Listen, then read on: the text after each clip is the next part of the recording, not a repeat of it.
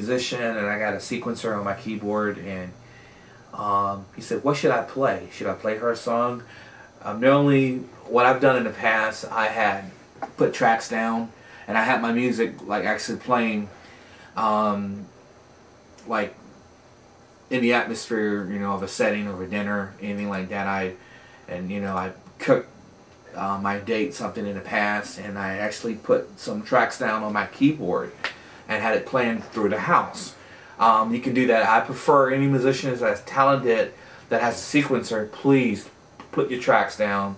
Um, do your own romantic melodies because that night is obvious is, going to be it's about you and your spouse and so um, whether you're a female making tracks too it doesn't matter you can do the same thing um, just because what it do is it bringing a whole vibe and vibe is coming from you because you're setting the atmosphere for you and your date so just go ahead and just go ahead and just make your own track basically um, I'm making this melody this is like a I call this the um, romance of the heart is a basic small little name for this um, song called Romance of the Heart. I'm just to be pulling down some chords. Actually, I kind of got the best of both worlds because not only I could make beats, I could play too. I could play piano too and keyboard and, and a Fender Rhodes and a Hammond B3. Um, you have a lot of musicians, they can play actually in all their keys and they're really good. Um, like Jamal Hartwell, he's one of them. I met him actually at a Denny's um, He's one of my favorite people that I think is excellent musician, so talented. Um, I love him. He's a, he's an excellent guy, so talented and, and just tremendous talent.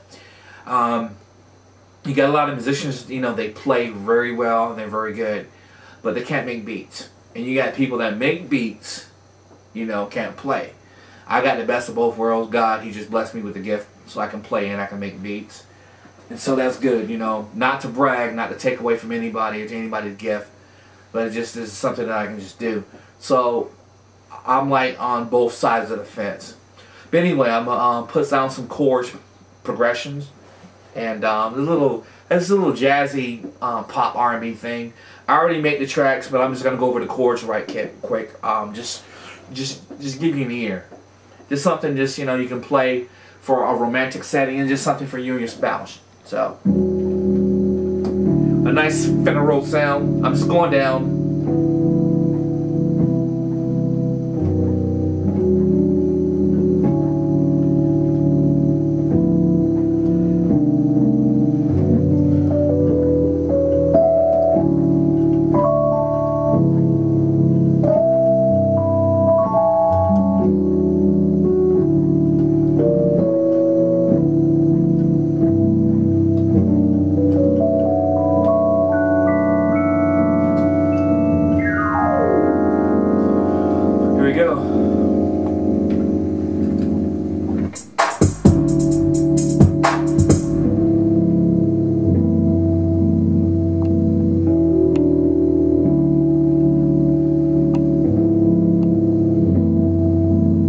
Moscow, Moscow.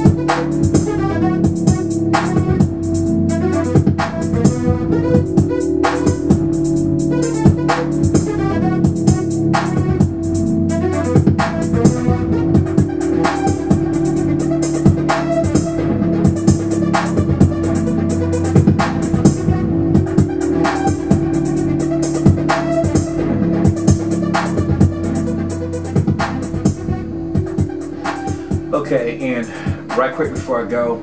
As you notice in this song right here, that there are a lot of brass patches, and all you guys familiar with the um, the albums with Paris Love, as you notice that um, that young man that I did the tracks, the whole albums for, we did like about 14 albums for the guy, and even on the album um, Bedroom Seduction, um, a lot of that whole album I had a lot of brass stuff going on.